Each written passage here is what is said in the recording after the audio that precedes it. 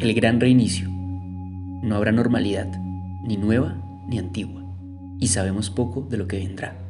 Ante todo, el deber es de resistir a lo que nos imponen, pues no deberíamos regresar a lo que había. Hay que defender la vida en dignidad.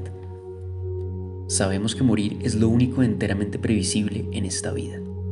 El arte de morir es parte central del arte de vivir. Es inaceptable privarse entonces de la capacidad de morir con dignidad.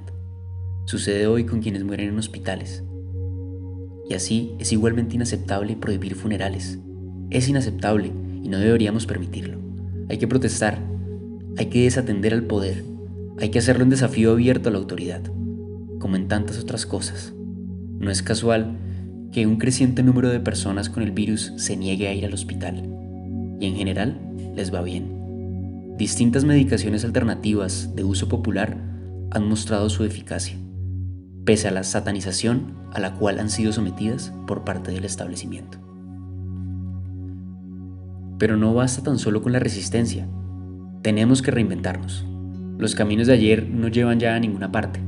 No tiene sentido seguir buscando empleos que ya no existen ni existirán, ni tocar las puertas que antes satisfacían demandas, ni confiar en promesas para un futuro siempre pospuesto. En la actualidad, para sobrevivir, lo primero es darnos cuenta de la novedad radical que implican las circunstancias actuales.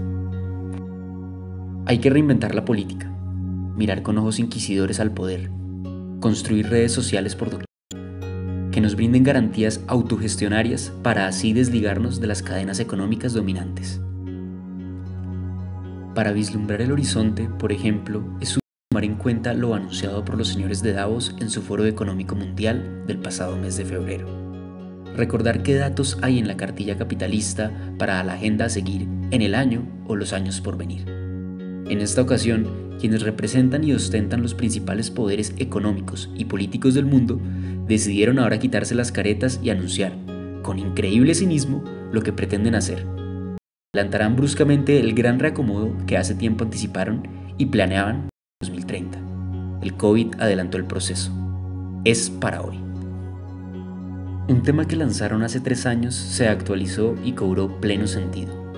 No tendrás nada y serás feliz. Reacomodar todas las piezas, como están haciendo y tratarán de hacer cada vez más significa que quieren llevar el despojo hasta sus últimas consecuencias. Por décadas nos quitaron derechos, libertades, empleos, salarios, pensiones, tierras, territorios, bosques, agua, plantas, semillas. Todo lo que pudieron arrancarnos, a menudo con mucha violencia, quieren seguirlo haciendo hasta que nada tengamos ya para dar.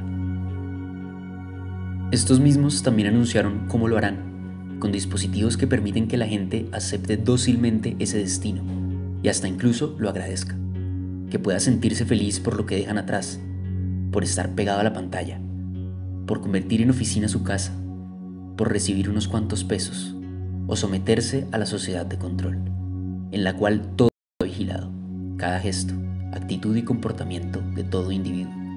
Lo dijo con claridad Klaus Schwab, el fundador del Foro de Davos, y el principal vocero del Gran Recomodo. Schwab considera que, tal como aceptaron dócilmente el confinamiento y otras medidas, los ciudadanos ya están preparados para realizar lo que se les obligue a hacer. ¿Una fatalidad imposible de evitar? No.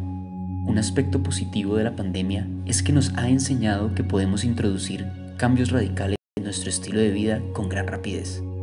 Los ciudadanos han demostrado con creces su disposición por ejemplo, para hacer sacrificios por el bien de la atención sanitaria. Estos sujetos de Davos no se muerden la lengua al reconocer que el capitalismo ha muerto.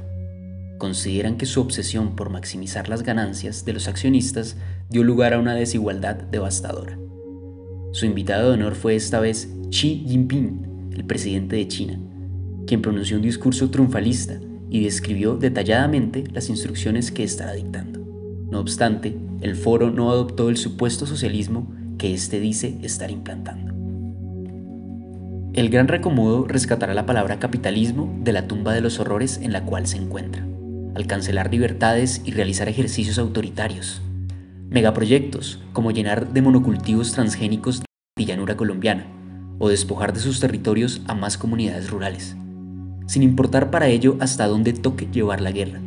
El nuevo régimen será inclusivo e igualitario, con consultas populares, como las conocidas en el caso de la minería local o la aspersión de cultivos ilegales con glifosato, debatiendo sobre lo no esencial para hacer sentir a las mayorías que deciden su destino, para que el régimen dominante por siglos, hoy reajustado, sea aceptado como el gran mundo feliz.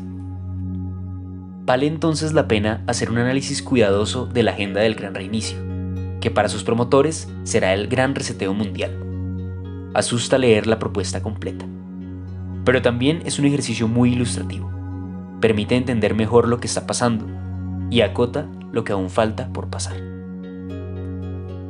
Recordemos de nuevo la frase zapatista, nos quitaron tanto que hasta el miedo se llevaron. Sin miedo alguno, sigamos abrigando esperanzas y transformando la resistencia en liberación, para construir el mundo y fundar sobre nuevas relaciones sociales posibilidades reales de compartir y convivir.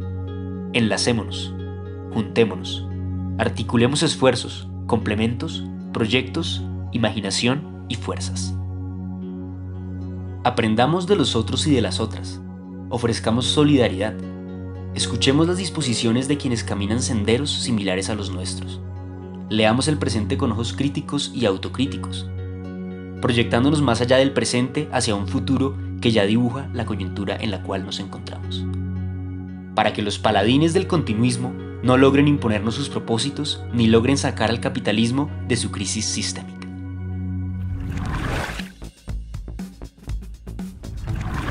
Quienes se beneficien del trabajo de cientos de millones de personas a lo largo de nuestro planeta nunca reconocerán que vivimos bajo un sistema económico-social fallido y nunca renunciarán a los privilegios que les otorga el capitalismo y el patriarcado.